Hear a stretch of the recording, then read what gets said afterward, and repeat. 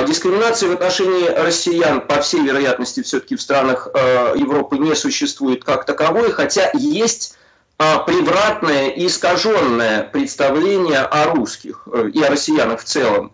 Э, оно тоже является следствием стереотипов.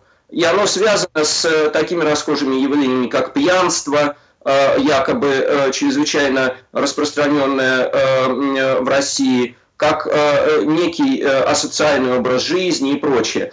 Это стереотипы, которые, к сожалению, сложились э, на Западе э, в отношении России некоторое время назад и которые достаточно сложно э, преодолеваются. Это одна сторона. То есть э, э, существует некая предвзятость, и мы должны понимать, что э, отношение к э, гражданам нашей страны может быть таким на Западе. И оно, к сожалению, Э, сформирована в западной среде. Вторая составляющая – это проблема э, семьи и детей. Э, и здесь я хочу подчеркнуть, что я далек от мысли, что есть какой-то заговор против русских семей, ни в коем случае. Но существует, во-первых, очень серьезная разница в культуре и традициях, в том числе семейных традициях серьезная разница в э, законодательстве у нас и э, в европейских странах, в той же Норвегии или Финляндии.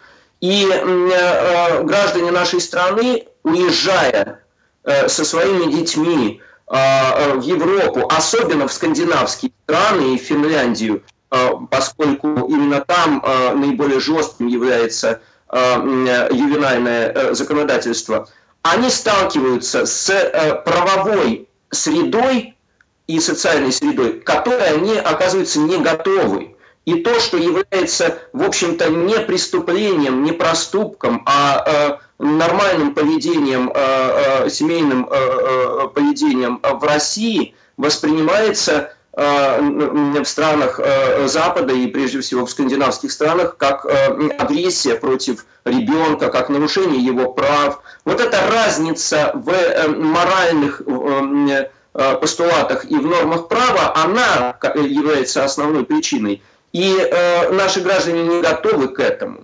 А, и э, я думаю, что это действительно очень серьезная проблема. А, с одной стороны, очевидно, часть этой проблемы состоит в том, что россияне должны понимать, что а, а, если они приезжают на постоянное место жительства, не в туристическую поездку, а на постоянное место жительства в ту или иную страну, как минимум они должны иметь представление о законодательстве и нормах, принятых в этой стране. С другой стороны, конечно, с моей точки зрения, как жителя, гражданина своей страны, нормы э, ювенальной юстиции, э, действующие в ряде европейских стран, являются, безусловно, чрезмерными.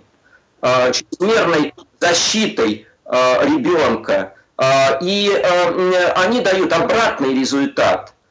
Ведь, по сути, они превращают чиновника в вершителя судеб, который решает, быть этой семьей или не быть. И фактически абсолютизируя какие-то абстрактные права детей – а, э, ювенальная юстиция тем самым западных стран тем самым разрушает семьи, а, причем разрушает вполне благополучные семьи. Вот, э, э, собственно, проблема. То есть проблема в некой чрезмерной вере вот в эту абсолютизацию прав ребенка. Я думаю, что а, а, конечно, это тоже серьезная проблема, и она касается не только граждан России, но и, собственно, жителей Норвегии или а, Финляндии. И я думаю, что законодатели э, и политические, общественные силы этих стран должны все-таки как-то скорректировать такую политику, потому что в целом, безусловно, она отвечает интересам и действительно идет речь о защите ребенка, это очень важно, но нельзя при этом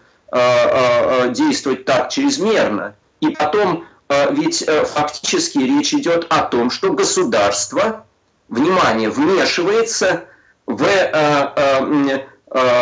жизнь индивида, чрезмерно вмешивается в дела семьи.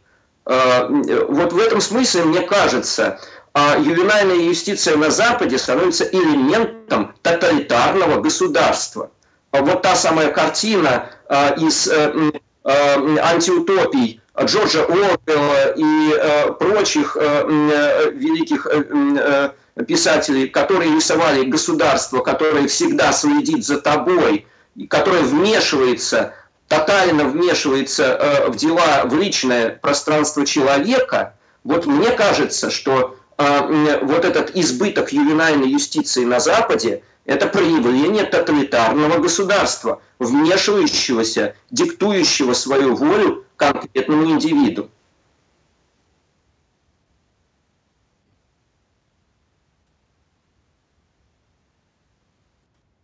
Хорошо.